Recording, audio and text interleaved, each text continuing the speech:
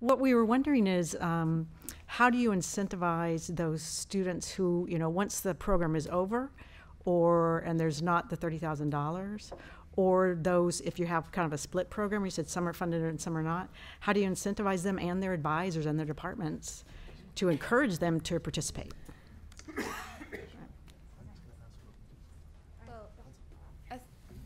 Is this on? Yeah. Okay. Um, well, for students, I think uh, being told that these are job qualities that people are hiring for is very incentivizing to continue developing those. Um, and I don't know about faculty. I also think for students, maybe. It's a very focused microphone, FYI. Um, maybe reducing, so the courses, each course that we took was a full semester course. So you're talking about essentially an, an entire semester's worth of a course load that you're requesting. So maybe re- being able to reduce that down to mini courses, webinars, workshops, things like that, where um, people don't necessarily have to eat away a huge chunk of their their own degree progress, um, and still be able to engage with the material in a useful way.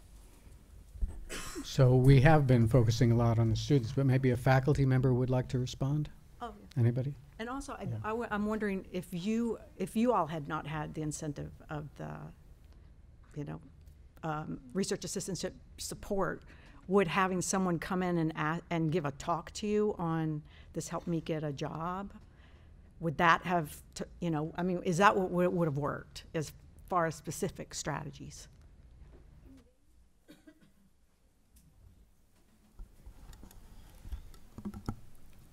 I came to NC State and enrolled in a doctoral program called Communication Digital or Communication Rhetoric and Digital Media. I'm sorry, I'm sleepy. I have a seven-month-old baby. um, I came to study uh, online learning and was here for a year, and um, was friends with Molly Hartzog, who was in the previous cohort, and she said, "Oh, I know you're interested in interdisciplinary learning. Um, do you want to come to this happy hour with people who do interdisciplinary stuff?" And that's how I fell into IGERT. Um, it wasn't for the fellowship. Actually, I sat down at the happy hour, and I happened to be across the table from Fred and from Alun Lloyd, and the kinds of things that they were talking about were so interesting and also I was I, I looked around myself and I saw that the percent the, the ratio of faculty to students and faculty who wanted to work and talk to students individually was almost one to one, and that was amazing. Um, so for me, it was much more the intellectual appeal, and then you know I cert- the the resources were amazing, not just the stipend, but also you know, it, it, to be able to sustain a collaboration, like Jen said, right? Like there's this steep learning curve, but then then you can really do exciting stuff. Um, so so that certainly made a difference. Um, sorry, the only other thing is to to recruit somebody t- too. Um, it helps to keep the problem vague, which can be frustrating, but but it, it, I think it helps with students to let them find their own way in because if you overprescribe it, you're going to alienate people and you're also going to shut down cool projects you couldn't anticipate in advance. Okay, table two. Uh, that's exactly what we talked about at our table and thinking about uh, the diversity of how interdisciplinary thinking operates. And if you're coming in, and we understand this is a funding issue, if you're coming in, and it sounded like you're probably not the person I want to hear from, but because you emerged out of a program that was here and were inspired by it in a different way. I'm, I'm curious how students were recruited to this program and thinking about, I'm going to be working with other students on a program or a problem in advance. And I heard your word frustration, and I was curious about, does that, fr- did some of that frustration come out of the fact that you, some of you may have thought it was too vague, and some of you thought maybe it was not vague enough?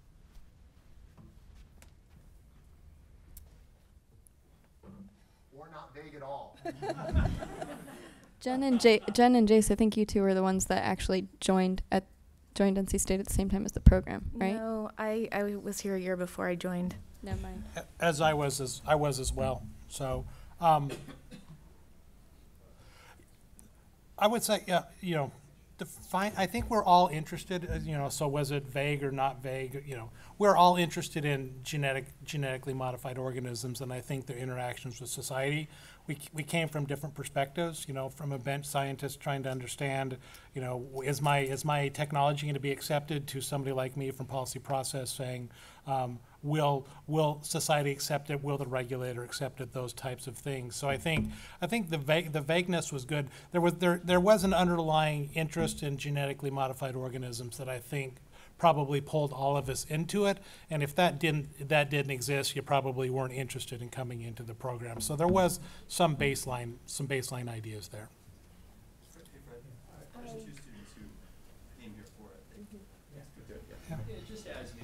You need to. Uh, my name is Mike Jones. I'm with the third cohort in uh, agricultural insect pests. So I, I will say, I c- as much as I, you know, have talked at our table about the real tangible costs of going through this training program and you know ex- maybe extending your you know training time and whatnot. I was recruited to North Carolina State as an institution because of the IGERT program. I had worked in my master's degree with entomologists pretty extensively on storage pest economics in developing countries, it kind of almost hilariously fit like the line item that was going on there, even though it sort of morphed uh, into what I uh, ended up st- focusing on.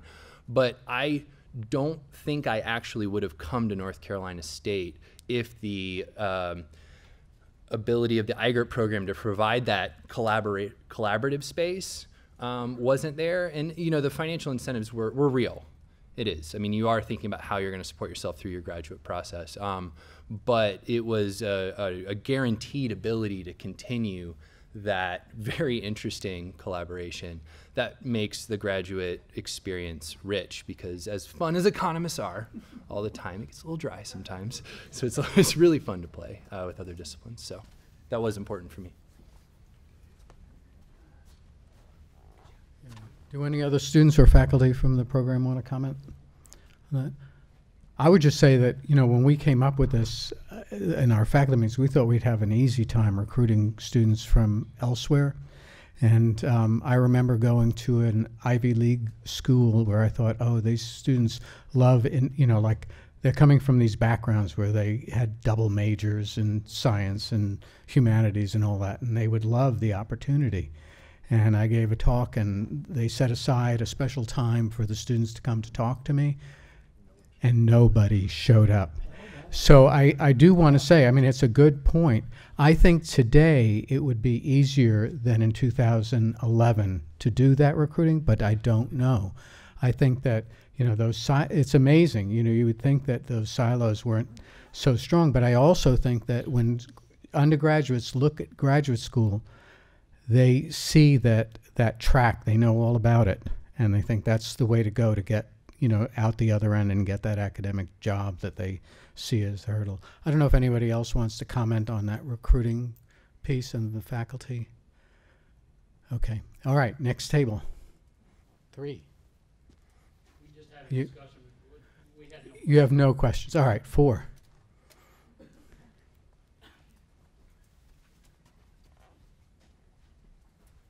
First of all, thank you. That was absolutely fascinating. So the question for us is, um, you had a, a, significant amount of time to develop the relationships, to learn from each other, to develop that team.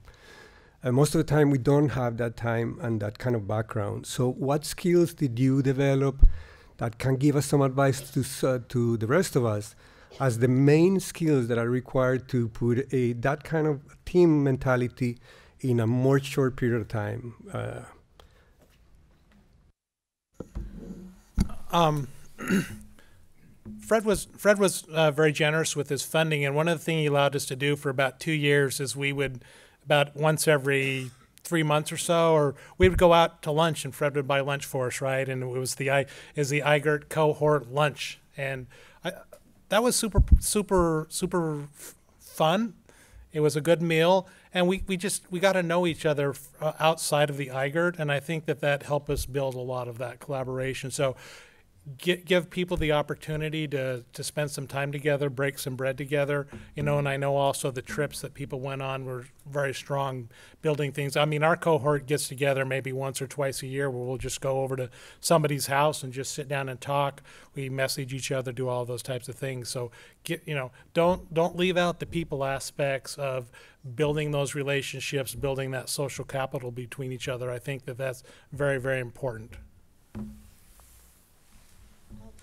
Reiterate that and say that I think that in many aspects I feel closer to my cohort and the other cohorts um, than some people in my own department, um, and that the trip to California really solidified us um, in that kind of way. And I think that was two weeks we were gone.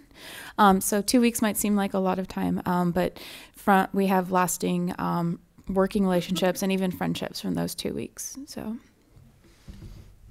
I mean, if oh sorry, if you if you can make the time, it's huge. But um, you know, also the colloquium that Fred was talking about is uh, you know Tuesdays from twelve to one, so one hour a week. If you can get people to attend that regularly, which actually everyone gets so busy, it can be tempting not to. But if you can even incentivize just that, you know, over time you build some community. I think You're just, uh, you're, you're a P, new, you're new at P. and- And you're gonna be working with a lot of people that you have never met. And, and you're gonna be asked to form these teams. So you don't have time for the socialization. So what is the skill that you, that you basically bring around the table with five people that you haven't met and bring them together? What is the skills that you need and how would you help us or give us some advice? I think being able to um, cross communicate is the number one thing. And so if you have a few hours in a day to be able to have everyone put together a five, 10 minute presentation about the research that they do, and you have everybody communicate that to each other, because what you learn really quickly when you do those is I don't know any of the words you just said, and you get that from ev- from every discipline. If you have if you have five different disciplines, no one is going to understand each other for, for at least parts of what's being said. Um, and you really quickly learn to break down for yourself, you know, how do I explain what opportunity cost is? How do I explain, you know, sunken cost fallacy? You know, you have everybody has these jargon terms that they don't even know that they have until they say it to someone who isn't in their discipline. Um, so being able to just have a one day workshop where you break down those terms would be really helpful. And to piggyback on that, going through the IGERT process taught me it's it's always the same things that trip other people up. So it taught me, oh, okay, well, if I say linkage map, what, no one knows what that is. And so I, I know I have to say, oh, I'm looking at the associations between two different places in the genome. Like that's, you know, just breaking it down and using common language to help get across these complex ideas. And so going through the IGERT in this process, I now default to the simpler explanation than the technical explanation. And I think going forward, going into new groups, that that's going to facilitate interdisciplinary work a lot. The the other thing is it can be it's so easy to assume especially in people who are becoming experts that that you think that communication is about explaining yourself more clearly. There's also the part of being quiet and listening. Um, so you know, a simple exercise that goes a long way is encouraging people who are used to talking all the time to slow down and, and make sense of what each other person at the table is saying and try and like repeat that back because otherwise everyone's so busy explaining that you're still talking past each other a little bit. Hi, I'm Nora Haenn. I'm one of the co-PIs on the original IGERT, and I want to say that um, we thought long and hard about this socialization question. So it's what they're saying here is not an accident. We drew from uh, our colleagues in communication who said that when you have controversial topics and you have people on um, who are polarized on it, the way to get them to talk to each other is to make some kind of personal connection. So um, I would say, in answer to your question, if it is a controversial topic, the socialization aspect is non-negotiable.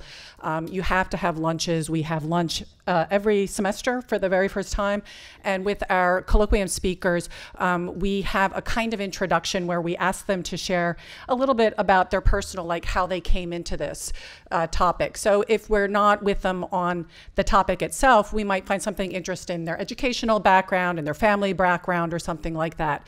So this has been something we have really thought about, and um, Elizabeth just hinted at another conversation we had endlessly about do we talk too much or do we talk not enough? Are people not putting um, things on the table? Um, I don't think we have a magic formula for that, but over time it kind of worked itself out because we did build those interpersonal relationships and some of us learned to talk a little less. What table is it? Table five? Oh, you, oh, we're ready.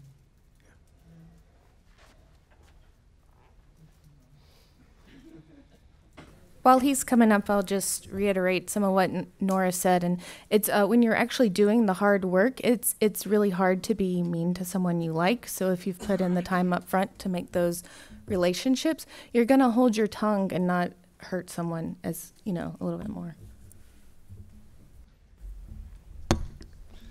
So I'm Ron Sederoff. I'm a retired professor of genetics. Um, I'm so old that I remember when DNA was not an accepted um, science. With it, what we believe is the structure of DNA, one professor said, well, those experiments are controversial. Those preparations weren't very clean, and it should take some time before we take this double helix model too seriously. So that's where that's where I come from. Uh, a word about the, the conference so far. I'm really tremendously impressed with the way people have worked together to develop interdisciplinarity is one of the most difficult things we struggle with at our university because everyone um, has the idea that they work on the most important thing in the world because if it wasn't the most important thing, something else was, that's what they would be doing.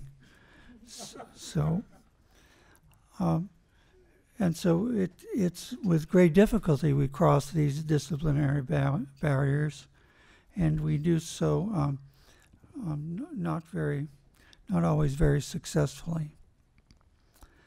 Uh, what I struggle with is the extent to which, and in a way I applaud, the perspective which deals with controversial issues where everyone is considered to come in with a, with a sense of bias and that everyone has a bias. But I struggle with that because I think that gives equivalency to things that don't always deserve it.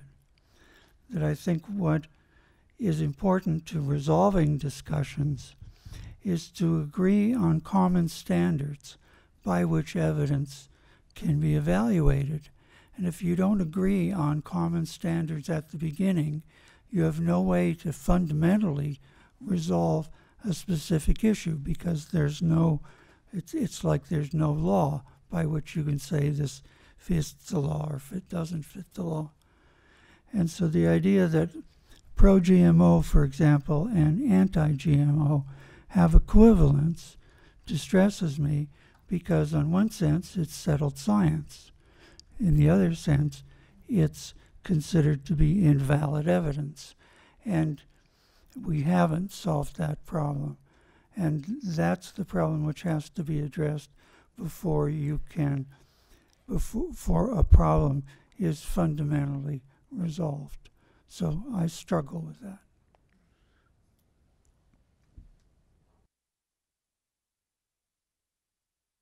Response? Do do anybody want to respond? Um, I think about this too. Uh, when I taught in the fall, I had a unit on uh, vaccines and um, was also pregnant with a child and f- felt very strongly that I didn't want him growing up in a world where, you know, he could get polio or Zika or, you know, uh, uh, Zika is not a good example. Diseases that have been eradicated that are coming back. Um, I- I study communication, and that pursuit has made me give up the idea of a, a universal law that we all will submit to.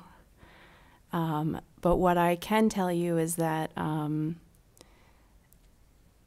you know, our political situation is a good example of this. I, I wouldn't I wouldn't say that all perspectives are equally valid.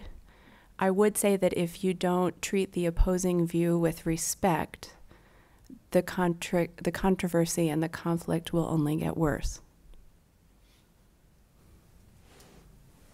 Yeah, I think early on we all kind of struggled with that. So our white paper ended up being, you know, the question should transgenics be used to suppress dengue? And we had such a hard time even answering that question. And kind of the best we could do is lay out the the variety of perspectives. And I think it's one of the things that frustrated me too, coming from uh, math and biology. I think with the very first class that we took on ethics, we went around and kind of, you know, talked about our our feelings about it, and mine was it's frustrating that there's not an answer. You know, sometimes the most you can do is discuss these and discuss the variety of perspectives.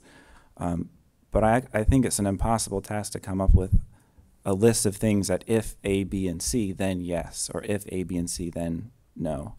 Um, so it's something that I think we all continue to struggle with, and not anything that we have resolved necessarily. But I don't know that that's necessarily a bad thing.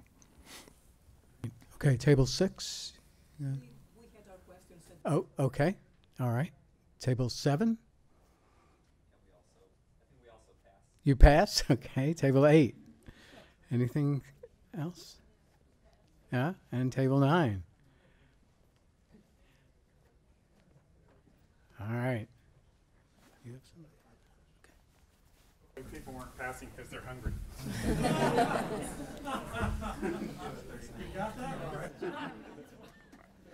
Uh, one thing I guess I'm wondering about is for all of you, just because this is an area, genetic engineering, which has been sort of racing forward over the past several years, but you all started actually before most people other than uh, microbiologists had ever heard of CRISPR. Um, in that context, like a really good program would help students in terms of uh, as they go forward face problems that are in front of us. But I think a really great one probably would help address problems we don't even know exist yet or we haven't thought about. And so, has your IGERT experience perhaps um, contributed to that, helped you? You think it's made a difference that way? I mean, from the perspective of uh, so so basically, in my job, I do project work, and I'll have four to five projects at a time, and they'll rotate, and projects last anywhere from a few months to a couple of years, and so my subject matter that I'm tackling is constantly shifting, um, and I think that IGERT made me more adaptable um, in thinking that that nothing should be out of reach of being something that should be considered. Um, and that that policy issues and ethical issues and social issues often have a common ground no matter what new thing you're talking about. Um, the specifics are going to vary from thing to thing, but you're always wondering about social, economic, personal ramifications or benefits, or and um, and so learning to to use that common thread and then work in the specifics for each individual thing is almost sort of just icing on the cake. But but learning that general concept of this is how we think about these issues has been really pivotal and helpful to me. So my question is, as far as recruiting for a program like this, and maybe for some others, it seems where there's a controversial topic, it really gets people from different viewpoints and to think about an interdisciplinary approach.